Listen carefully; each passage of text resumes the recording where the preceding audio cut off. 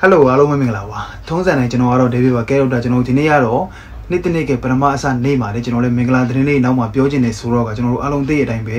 ခိတက်ကဖော်ပြချက်အရဆိုရင်မနေ့ကတနေ့တည်းတင်စစ်ခွေးအရောက်ပေါင်း39ရောက်ကျော်လောက်မုံငါပဲဖြစ်သွားတယ်ဆိုတော့ကကျွန်တော်ခဏခဏပြောပါတယ်ကျွန်တော်တို့စစ်ခွေးအကောင်ကြီးကတနေ့တနေ့90အထက်မှာပဲရှိတယ်ခိတက်ကတော့တချို့သတင်းလေးတွေမရလိုက်တာရှိတယ်ဆိုတော့ကနောက်မှာသတင်းကောင်းလေးတွေမလာခင်ကျွန်တော်ဖြတ်ပြီးတော့ပြောချင်တာကတော့ကျွန်တော်ဒီနေ့ reaction လုပ်တဲ့ video ပိုင်းကျွန်တော်တိတ်ပြီးတော့အားမရပါဘူးကျွန်တော်အတန်လေးကိုအုပ်ပြီးတော့ပြောနေရတဲ့အတွက်ကြောင့်ကျွန်တော်ဘေးခန်းမှာအားလုံးသိတဲ့အတိုင်းပဲကျွန်တော်တို့က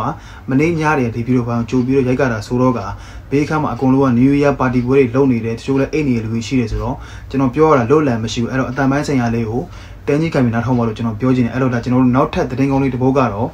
လောက်ကင်မျိုးတွေနဲ့ယခုရဲ့ဖြစ်ပွားခဲ့တဲ့တိုက်ပွဲအတွင်းမှာခရိုင်ရဲတပ်ဖွဲ့မူဒုတိယရဲမှူးကြီးညွှန်လွင်ဦးတင်စနိုက်ပါကြီးထိမှန်ပြီးတိတ်ဆုံးသွားသူသူ့ရဲ့တပည့်အရာရှိရဲရာရှိသူကပြောထားပါတယ်အဲ့တော့ဘာပြောလဲဆိုတော့ဒဏ်ရာရလာတဲ့တပ်ဖွဲ့ဝင်တွေရှိကိုတွားပြီးတော့အားပေးဖို့စခန်းကနေထွက်ပြီးတော့တိတ်မကြဘူးတဲ့အပြစ်ခံပြီးတော့တိတ်သွားတယ်မနေ့ကပဲ တက်ပြောက်ဆုံးကတ်တယ်ဆိုအထက်ပါအရာရှိကပြောထားတဲ့ဆိုတော့ကဒါလည်းဒါကျွန်တော်နှစ်သိပ္ပံမှာအစနေမှာလေအကောင်ကြီးတကောင်မုံအောင်ပဲဖြစ်သွားတယ်ဆိုတော့ဒါလည်းမင်္ဂလာရှိတဲ့သတင်းလေးပါပဲအဲ့တော့ကျွန်တော်တို့မနေ့ကဆိုရင်လည်းလှိုင်တရာမှာတပြိုင်နက်တည်းဘုံတွေကွဲမှုဖြစ်တယ်ဆိုတော့ကမနေ့ကစစ်ကောင်စီကစစ်ခွေးတွေနဲ့ပြူစောသီးတွေနဲ့ဒီကျွန်တော်တို့လူမိုက်တွေနဲ့ပေါင်းပြီးတော့ပိုက်စစ်တဲ့ရှာဖွေနေပါတယ်အဲ့တော့မနေ့ကဆိုရင်ဒါကျွန်တော်ရန်ကုန်မှာမစ်ရှင်ကိစ္စတွေတော်တော်လေးကိုအောင်မြင်သွားတယ်မစ်ရှင်ဆောင်ရွက်တဲ့ညီကိုတွေကတော့ဘေးလုံညုံဆိတ်ချရုံပြန်ရောက်သွားတယ်ဆိုတော့ကကျွန်တော်ဒီနေ့အတွက်ကတော့မင်္ဂလာသတင်းလေးရအောင်ဒီလောက်ကလေးပါအဲ့တော့ကျွန်တော်နောက်မှာအရင်ဆုံးနားထောင်မယ်ဗီဒီယိုပိုင်းကတော့ ကျွန်တော်တို့ရဲ့ယာယီသမရာကြီးနှစ်သိစူတောင်းမိန်ကုန်းလေးဟာ2မိနစ်စာဗီဒီယိုဖိုင်လို့ကျွန်တော်ဆက်ပြီးတော့နားထောင်ကြည့်လိုက်ရအောင်ဗျာလေးစားချစ်ခင်ရပါတော့ပြည်သူလူထုကြီးခင်ဗျာမင်္ဂလာရှိတော်နှစ်သက်ခါသမယမှာပြည်သူလူထုအားလုံးရဲ့စိတ်ချမ်းသာခြင်းကိုယ်ရဲ့ချမ်းသာခြင်းတွေနဲ့ပြည့်စုံပါစေကြောင်းဆုမွန်ကောင်းတောင်းလိုက်ပါတယ်အခုဆိုရင်2024ခုနှစ် တစ်တစ်အချိန်ကာလကိုမချာမီအချိန်တွေစတင်ရောက်ရှိလာတော့မှာဖြစ်ပါတယ်အခုကြာရောက်လာတဲ့2024ခုနှစ်ဟာနွေဦးတော်လာရဲ့ကာလ၃နှစ်ပြည့်မြောက်ချိန်တဖြည်းဖြည်းရောက်ရှိလာခဲ့ပြီဖြစ်ပါတယ်။အာနာရှင်စနစ်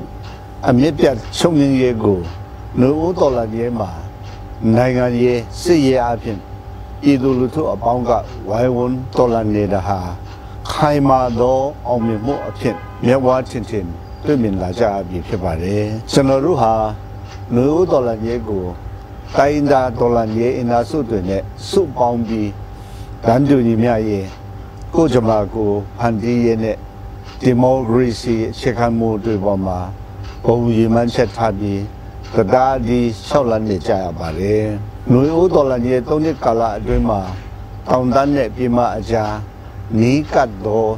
အောင်စင်မှုတွေကိုလည်းကျွန်တော်တို့အားလုံးလက်တွေ့ကျကျလှုပ်ဆောင်နိုင်ခဲ့ကြပြီဖြစ်ပါတယ်။ဒီလိုအချိန်ကာလမှာရှမ်းပြည်နယ်မြောက်ပိုင်းကိုဗဟိုပြုဖြစ်တည်လာတဲ့30ခုစစ်စင်ရေးဟာနလမပြည့်ခင်အချိန်ကာလအတွင်းမှာမြို့ပေါင်း20ကျော်ကိုတင်ပိုက်ထားနိုင်ခဲ့ပြီး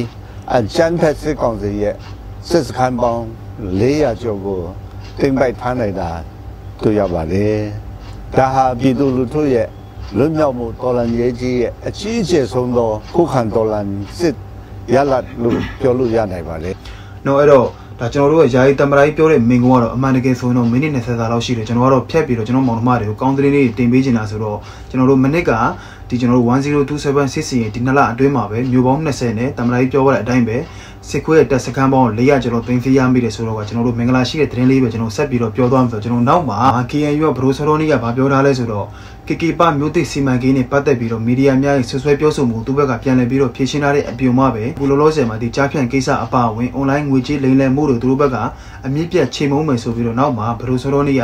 ဗာပြောထားဆိုကျွန်တော်တစ်ချက်လောက်ဆက်ပြီးတော့နားထောင်ကြည့်လိုက်ရအောင်ဗျာ ကျွန်တော်အနေနဲ့ဒီမှာရှင်းချက်ထုတ်ချင်တာကဘာလဲဆိုတော့อืมဒီ KK ပနဲ့ပတ်သက်ပြီးတော့ကမ္ဘာမီဒီယာကြီးတွေကနေပြီးတော့မတော်မတရားဆွဆွဲချက်တယ်အဲ့လိုဟာမျိုးကိုတော့ကျွန်တော်တို့ဟိုပြင်းပြင်းထန်ထန်ကန့်ကွက်တယ်လုံးဝမမှန်ကြောင်းလဲကျွန်တော်တို့ညှင်းဆိုတယ်ဘာဖြစ်လဲဆိုတော့ဒီနေဆတကြောမှာဖြစ်ပေါ်နေတဲ့မူရဆေးဝါးတွေလူမောင်ကိုကုန်ကူးမှုတွေ ဟိုတရားမဝင်တဲ့လောင်းကစားတွေတရားမဝင်တဲ့ဟိုငွေကြေးလိမ်လည်မှုတွေရကျွန်တော်တို့မူရတဲ့လုံးဝဆန့်ကျင်တယ်ဆိုတော့ကျွန်တော်တို့ထပ်ခါထပ်ခါထုတ်ပြန်ကြေညာတာလည်းဖြစ်တယ်ပြောလဲပြောခဲ့တယ်သို့တော်မနေ့ကပဲကမ္ဘာမီဒီယာကြီးတစ်ခုကနေပြီးတော့ဒီလိုကမ္ဘာအတိုင်းဝိုင်းတစ်ခုလိုအာယုံဆိုင်ပြီးတော့ကြည်နေတဲ့အနေအထားမှာဘာတက်တဲ့အထောက်ထားနဲ့ဘာမှမရှိဘဲနဲ့ဒီလိုမျိုးကျွန်တော်တို့ကိုထိခိုက်နစ်နာစီအောင် ပြောတဲ့အနေအထားမျိုးကိုတော့ကျွန်တော်တို့လက်ခံလို့မရပါဘူးဒါတွေကိုမီဒီယာတွေရဲ့ကျင့်ဝတ်နဲ့အညီပြန်ပြီးတော့တက်မှတ်ဖို့လိုပါတယ်ကျွန်တော်တို့အနေနဲ့ကတော့ဘယ်မီဒီယာမဆိုကျွန်တော်တို့ညီကိုတွေလည်းသဘောထားတယ်သို့တော့ဒီနေ့ဒီကာလမှာကျွန်တော်တို့ရင်ဆိုင်နေရတဲ့စစ်ရေးကျွန်တော်တို့ရင်ဆိုင်နေရနိုင်ငံရေးကိစ္စအရရအထူးသဖြင့်စစ်အာဏာရှင်တိုက်ဖြတ်ရေးမှာ ရှေ့တန်းကနေမမမရပ်တည်နေတဲ့ကျွန်တော်တို့ကရင်မျိုးသားစီယုံကေအမျိုးကတော့ဒီလိုလှုပ်ဆောင်မှုကိုလုံးဝလက်မခံနိုင်ပါဘူးသို့တော့ကျွန်တော်တို့အဖွဲ့ဝင်တဦးတယောက်အနေနဲ့ဒီကိစ္စထဲမှာပါဝင်ပတ်သက်နေမယ်ဆိုမယ်ဆိုရင်လည်းကျွန်တော်တို့အဖွဲ့အစည်းရဲ့စီမင်းစင်ကန်းနဲ့ရောကျွန်တော်တို့ရဲ့ကော်တူးလေးဥပဒေအရပါကျွန်တော်တို့မှာရှိတဲ့ရန်တရားတွေနဲ့ကျွန်တော်ဆက်လက်လှုပ်ဆောင်သွားမယ်ဆိုတာကျွန်တော်တို့ဒီနေရာတွေပြောချင်ပါတယ် ရင်ဆိုင်နေရတဲ့စစ်ရေးနိုင်ငံရေးကိစ္စအရာအဝဝတက်လောက်များများကြီးလူသားချင်းစန္ဒထောက်ထားမှုဆိုင်ရာဘေးဒုက္ခဆိုကြီးနဲ့ကျွန်တော်တို့လူထုတွေတိမ်မကတန်ကနန်းဒီဘကိုရင်ဆိုင်နေရတဲ့အနေအထားမျိုးမှာဒီလိုအခြေအနေမျိုးကိုလုံးဝငက်ကွက်မှုမရှိပဲကျွန်တော်တို့အဖွဲ့အစည်းကိုဖေးမှမှုလုံးဝမရှိတဲ့ပြောဆိုဆက်ဆံမှုမျိုး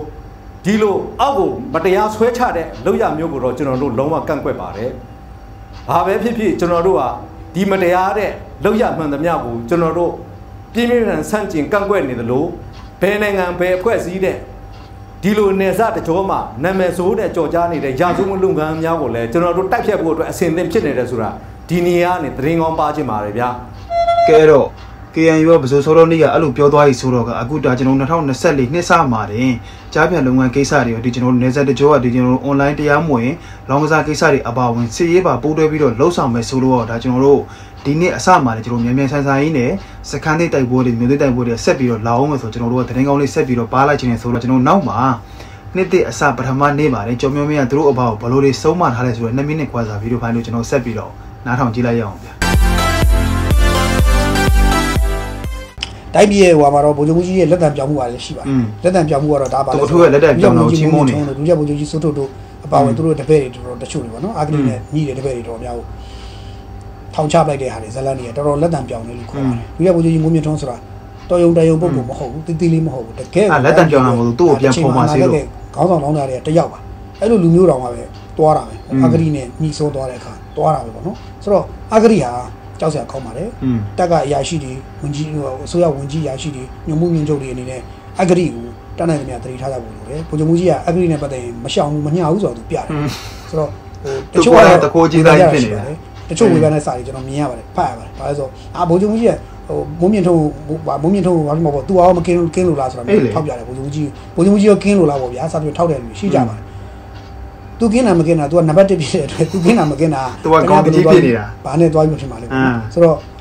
သူ့တက်ကြီးတဲ့အကြီးရှိရင်တော့ဒါ तू မကင်းကင်းရှာဖွေပုံစုံတဲ့ဖော်ထုတ်လုံးရှိမှာပေါ့ဗျာဒါပေမဲ့ကင်းမကင်းရှာဖွေဖော်ထုတ်စုံစမ်းလို့လုံးမှာပေါ့ तू ကအကြီးဆုံးဖြစ်တဲ့အခါကျတော့ခင်ဗျားဘယ်လိုသွားပြီးပေါ့ဖြစ်မှာတော့အဲ့တော့ဒါကတော့ကျွန်တော်တို့ကတ်တက်ပြောတယ်လို့ပဲကျွန်တော်မြင်နေပေါ့နော်ရှိရင်လည်းရှိတယ်မရှိလည်းမရှိဘူးဒါကျွန်တော်တို့မသိနိုင်ဘူးဘလို့မှကျွန်တော်တို့ဟိုလိလာစုံစမ်းပြီးတော့ပြောရင်တော့ပြောရခက်တယ်ပါနော်ရှင်ဘရင်ဗာလဲရွှေသမင်ဘယ်အတွက်မင်းကြီးတာအတွက်ဆိုပြီးတော့ပြောမယ်ဆိုရင်တော့ပြောဖို့အတွက်အချက်လက်ထောက်ထားခိုင်ခိုင်မာမာနဲ့အဲ တိုင်လို့ရတဲ့နေရာရှိဖို့လည်းလိုသေးတယ်ပေါ့နော်အဲ့ဒါမှဖြစ်မှာတော့တော့ကျွန်တော်တို့အများကြီးတချို့ကပြောရခက်တယ်အဲ့တော့ထားပါတော့ဆိုတော့ဦးမုံမြင့်တို့တို့ဦးစိုးတို့တို့ကိုလို့ဥပဒေကရေးယူလိုက်တဲ့ကိစ္စဟာသူ့အနေနဲ့ဒါပြတ်သားတဲ့ဟာမူတစ်ခုသူပြတဲ့သဘောပေါ့အဲ့တော့တနည်းအားဖြင့်ပြောရရင်တိုင်းပြည်မှာအဂရိဒီကိစ္စတွေတော်တော် short တဲ့ကိစ္စဖြစ်လာတယ်ဆိုတော့ပြောရအောင်နော်တိုင်းပြည်မှာအဂရိတွေကကြီးထွားခဲ့တယ်တော်တော်လေးစိုးစိုးဝါဖြစ်ခဲ့တယ်ဒီအဂရိတွေကိုထိန်းချောင်းတယ်ဆိုတဲ့အဓိပ္ပာယ်ပါအဲ့တော့ကျွန်တဲ့ဒီညွန်မှုညွန်ချုပ်တွေဝင်ကြီးတွေစသဖြင့်ဒါတွေကလည်းသတိနဲ့အဂရိကိုသတိနဲ့ထားပြီးကြိုက်လွှဲရမယ်ဆိုတော့ နားနားလေသိပြီလို့ထင်ပါတယ်တက်တက်ညွန်မှုညွန်ချုပ်တွေဝင်ကြီးတွေပြောလို့တကတက်ကရရှိပါပါဝင်ပေါ့ဗျာနော်ဆိုတော့ဟိုအဂရိကကိုယ့်ကိုနင်းထိုင်နေကိုယ့်ပခုံးမောအပွင့်နေကိုယူထားတဲ့တာဝန်တွေပါနေချင်းညာချင်း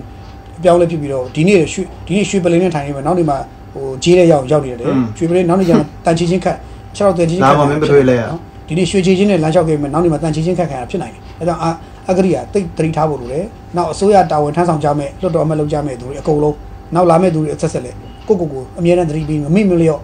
တတိပေးနေဖို့လိုလိုတယ်အဲ့ဒါဘာလို့ဆိုအဂရိကိုတေကင်းနေတော့ကဲအောင်နေကြရမယ်ဆိုတဲ့တတိတရားလေးဝင်ကြဖို့လိုတယ်ဒါတော့နောက်အဲ့တော့ဗာလဲဗဘောမကြုံမျိုးမရနှစ်တဲ့အစမှာလေသူပထွေးဘောကိုအကြီးမားနေတာဗာလဲအဘမင်းအောင်လာလက်တန်ပြောင်းလေတဲ့အဲ့ဒါလက်တန်ပြောင်းလေလို့မခေါ်ဘူးသူခိုးရတာတွေပြန်ပြီးတော့ဖော်မာစီတို့စောစီဒီကျွန်တော်တို့အငုံလေးတွေကိုရှင်းထားပြီးထောင်လေးကိုပို့လိုက်တဲ့ကိစ္စကိုအဲ့တော့ဟိုဘယ်လိုပြောမလဲမင်းအောင်လဲသူလဲကင်းလားဆိုသူလဲမကင်းဘူးလေသူကခေါင်းဆုံးဆိုတော့သူ့ကိုဖော်မဲလို့မရှိဘူးဆိုတော့ကျွန်တော်မင်းမင်းပြောသွားတာအဲ့တော့ စိုးထုတို့ဘာလို့ဆိုတာတော်တော်လေးကိုနာမည်ကထွက်နေလို့စိုးထုကမှသူထောင်လေးကိုမထဲဘူးဆိုရင်စိုးဝင်းကသူ့ကိုပြန်ပြီးတော့ဖော်တော့မှမာလာစောစီဒီကောင်တကောင်ထောင်လေးကိုပို့ထားလိုက်တာကိုကျွန်တော်မျိုးမင်းကသူ့ဘောဘောဆိုတာနှစ်တဲ့အဆမှာအကြီးကိုလှမ်းမပြီးတော့အဘလက်တံပြောင်းနေဆိုတာကြီးပဲအဲ့တော့ကျွန်တော်လည်းနေ့တည်းအစားမမရရင်တိတ်ပြီးတော့မပြောချင်အဲ့တော့ကျွန်တော်ဒီနေ့မနက်ပိုင်းလေးရတော့ ဒီဗီဒီယိုဖိုင်လေးနဲ့ပဲကျွန်တော်အဆုံးသတ်ထားရဆိုကျွန်တော် reaction လောက်ကြတယ်ဒီနေ့လုံးဝအားမရပါဘူးကျွန်တော်လွတ်လပ်လပ်ပြောလို့မရအောင်အတန်အောင်လဲကျွန်တော်အုပ်ပြီးတော့ပြောနေရတဲ့အပြုံမှပဲကျွန်တော်အဲ့ရဘောထိုင်ရတဲ့ feel ကလုံးဝကို feel လည်းမရှိဘူးအဲ့တော့ညနေကျမှပဲဒါကျွန်တော်ကျွန်တော်မောင်နှမတွေအတွက် special အလန်းစားဘောမတွေကိုဖဲတဲ့ဗီဒီယိုဖိုင်လေးကိုကျွန်တော်စူးစမ်းပြီးတော့တင်ပေးပါအောင်မလို့ပြောရင်းနဲ့မင်္ဂလာနှစ်သိပါကျွန်တော်မောင်နှမတွေအားလုံးစိတ်ချမ်းသာခြင်းကိုယ်ကြီးကျန်းမာခြင်းများနဲ့ပြည့်စုံကြပါစေ